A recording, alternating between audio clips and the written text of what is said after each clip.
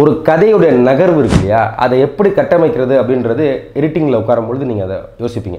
இந்த சீனை எவ்வளோ தூரம் கடத்தலாம் எவ்வளோ தூரம் சுருக்கலாம் எவ்வளோ கிறிஸ்பாக கட் பண்ணலாம் எந்த இடத்துல ரொம்ப லாங்காக வைக்கலாம் அப்படின்ற விஷயம் இருக்கு இல்லையா? அது ஸ்கிரிப்டில் நீங்கள் யோசித்தாலும் ஒரு விஷயத்தை எடுத்துகிட்டு வந்து எடிட்டர் டேபிளில் உட்காருவீங்கல்ல? ஏன்னா எடிட்டரை மட்டும் உங்களால் ஏமாற்றவே முடியாது ஆஸ் அ கிரியேட்டராக ஏன்னா அங்கே எல்லாமே தெரிஞ்சிடும் அங்கே வந்து எதுவும் சீட்டும் பண்ண முடியாது எடிட்டரை ஸோ அந்த இடத்துல தான் இந்த பேசிங்கோட பவர் என்னன்றது உங்களுக்கு புரியும். அதாவது பேசிங்கன்னா உங்களுக்கு இன்னும் எளிமையாக புரியணும்னா இப்போது டீ கடையிலேருந்து ஃபோன் பேசிக்கிட்டே ஒரு கேரக்டர் வந்து வீட்டுக்கு வருதுன்னு வச்சுக்கோங்களேன். இப்போ டீ கடையிலேருந்து ஃபோன் பேசிக்கிட்டே வீட்டுக்கு வரதை காட்டலாமா வேணாமா? இல்லை டீ கடையில் ஒரு ஒரே ஒரு கடிகாரத்தை ஜூம் இன் பண்ணிவிட்டு அவுட்லுக் வந்தால் அடுத்த கடிகாரம் காட்டுது வீட்டில் அவன் வீட்டுக்கு வந்துட்டான். அதாவது டைமை மாற்றி இத்தனை டைம் அவன் பேசிகிட்டு இருக்கான். அப்படின்ற மாதிரி நீங்கள் அதில் வந்து காட்டலாமா?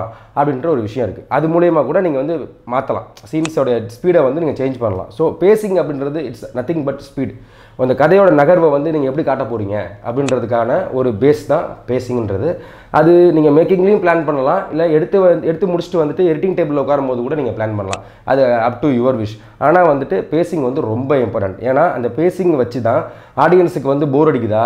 இல்லை வந்துட்டு இன்ட்ரெஸ்டிங்காக நம்ம கொடுக்க போகிறோமா அப்படின்ற மேட்டர் இருக்குது இப்போது ஒரு ஹீரோவும் ஹீரோயினும் நடந்து வரதையே நீங்கள் காமிச்சிட்டு இருந்தீங்கன்னா ஆடியன்ஸுக்கு போர் அடிக்குமா? அடிக்காதா? அதுக்கு ஒரு இம்பேக்ட் இருந்தால் போர் அடிக்காது. ஒரு இம்பேக்ட் இல்லாமல் நீங்கள் வந்து அதை காமிச்சிங்கன்னா அது போர் அடிக்குமா இல்லையா? ஸோ அந்த பேசிங்கில் தான் அந்த ஒரு ட்ரிகரிங் பாயிண்ட் இருக்குது ஸோ இந்த இடத்துல இவ்வளோ நேரம் ஸ்லோ மோஷன் தேவையா? இந்த இடத்துல நம்ம வந்து இவ்வளோ டீட்டெயிலிங் தேவையா? இது நமக்கு அவசியமா ஸ்கிரிப்டுக்கு நம்ம கண்டென்ட் என்ன சொல்ல வந்திருக்கோம்? எதை நோக்கி பண்ணிகிட்ருக்கோம் இருக்கோம் அப்படின்றத புரிதல் டேரக்டருக்கு இருந்துச்சுன்னா எடிட்டர்கிட்ட நீங்கள் கரெக்டாக வேலை வாங்குவீங்க. இல்லாட்டி எடிட்டர் தான் உங்களை டைரக்ட் பண்ணுவார்.